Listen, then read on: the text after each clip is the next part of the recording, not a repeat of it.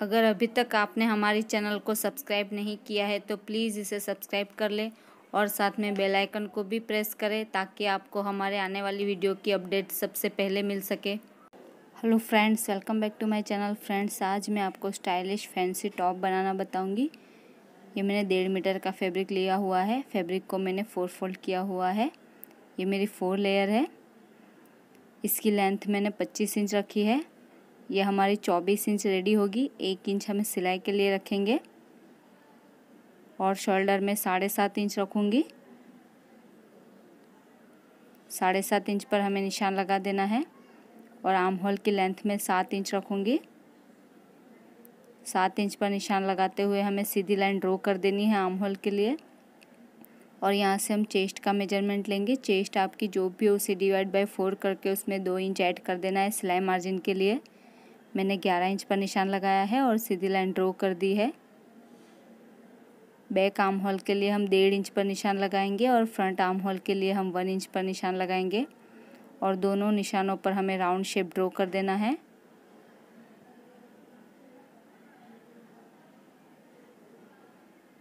और ऊपर से एक निशान हम चौदह इंच पर लगाएँगे कमर की चौड़ाई के लिए। यहाँ से हमें कमर की चौड़ाई का फोर्थ पार्ट लेना है और उसमें भी हमें दो इंच प्लस कर देना है सिलाई मार्जिन के लिए। मैंने दस इंच पर निशान लगाया है। और नीचे से हम हिप की चौड़ाई का फोर्थ पार्ट लेंगे और उसमें भी हम दो इंच प्लस कर देंगे सिलाई मार्जिन के लिए। मैंने ग्यारह इंच पर निशान लगाया है और दोनों निशानों को मिलाते हुए हमें लाइन ड्रॉ कर देनी है।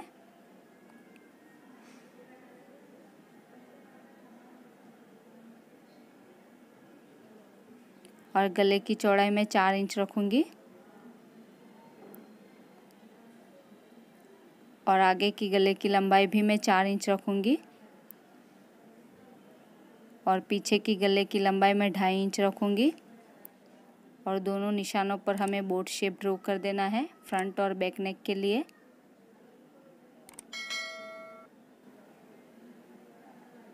सबसे पहले हम बैक नेक और बैक आर्म होल की कटिंग कर देंगे।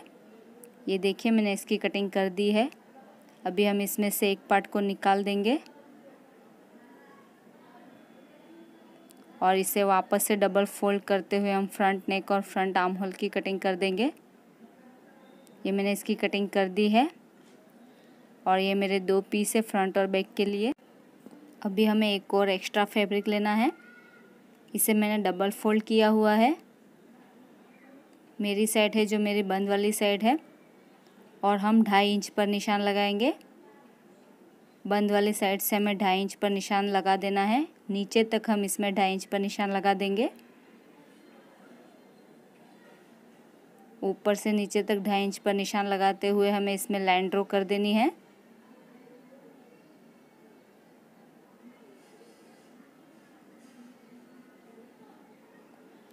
अभी इसके आगे हम फ्रंट का पार्ट रखेंगे।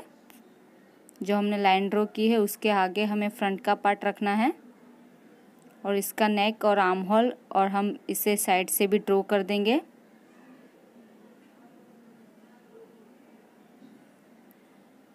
इसे ऐसे ही हमें ड्रॉ कर देना है।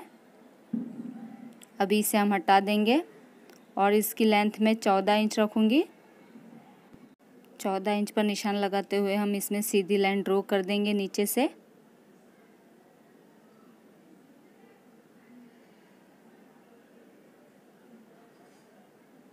अभी इसे हम कट कर देंगे।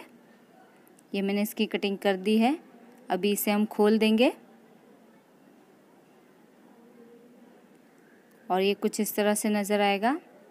और नीचे से हमें इसमें तिरछी लाइन ड्रॉ करनी है। आधे आम होल तक हम इसमें तिरछी लाइन ड्रॉ कर देंगे। एक साइड के आम होल तक हमें इसमें तिरछी लाइन ड्रॉ कर देनी है। नीचे तक।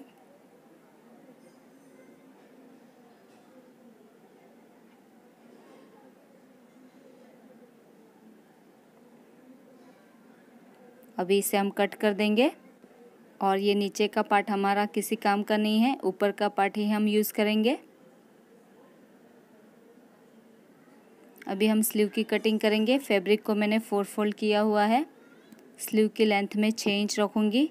इसमें मैं नॉर्मल स्लीव ही बना रही हूँ। और ऊपर से स्लीव की चौड़ाई मैंने आठ इंच रखी है। और कैप स्लीव की लेंथ में तीन इंच रखूँगी।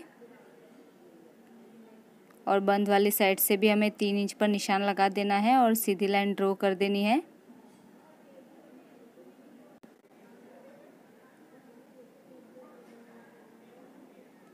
और खुली वाली साइड से हम डेढ़ इंच पर निशान लगाएँगे सिलाई मार्जिन के लिए और हमें इसमें स्लीव का शेप ड्रॉ कर देना है। राउंड में हम इसमें स्लीव का शेप ड्रॉ कर देंगे और नीचे से स्लीव की चौड़ाई में सात इंच रखूँगी।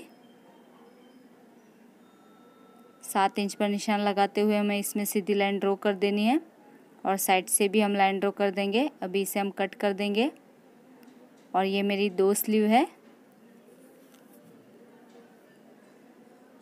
तो चलिए अब बढ़ते स्टिचिंग की तरफ़। सबसे पहले हमें फ्रंट का पार्ट लेना है। फ्रंट का पार्ट हमें उल्टा रखना है और जो हमने एक्स्ट्रा फैब्रिक वाला पार्ट कट किया था, उसे हमें इसके ऊपर उल्टा रखना है। और इस तरह से हम इसके शोल्डर मिला लेंगे।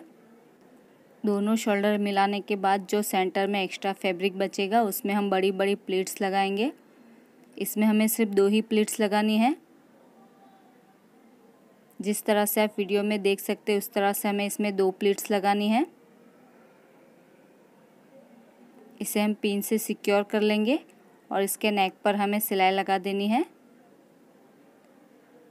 इसके नेक पर हम सिलाई लगा देंगे। ये देखिए, मैंने इसमें सिलाई लगा दी है और दो प्लीट्स भी लगा दी है। अभी हम इसमें छोटे छोटे कट लगाएँगे। और कट लगाने के बाद हम फैब्रिक को सीधी साइड पर पलट देंगे। और इसे आप चाहे तो प्रेस लगवा लीजिए। और जो इसकी बॉर्डर है, उसे डबल फोल्ड करते हुए हमें इसमें सिलाई लगा देनी है। और इसे हमें अटैच कर देना है मेन फैब्रिक के साथ।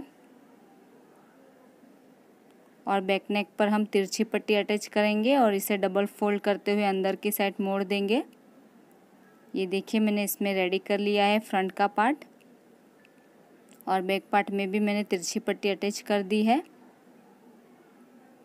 अभी राइट पार्ट के ऊपर दूसरा पार्ट हम उल्टा रखेंगे और इसके शोल्डर जॉइंट कर लेंगे। ये देखिए, मैंने इसके शोल्डर जॉइंट कर लिए हैं। अभी हम इसमें स्लीव अटैच करेंगे। स्लीव को हमें उल्टा रखना है और इसके ऊपर हमें सिलाई लगा देनी है। उसके बाद हम स्लीव की बॉर्डर को भी डबल फोल्ड करते हुए इसमें सिलाई लगा देंगे। दोनों स्लीव को हमें इसी तरह से अटैच कर देना है।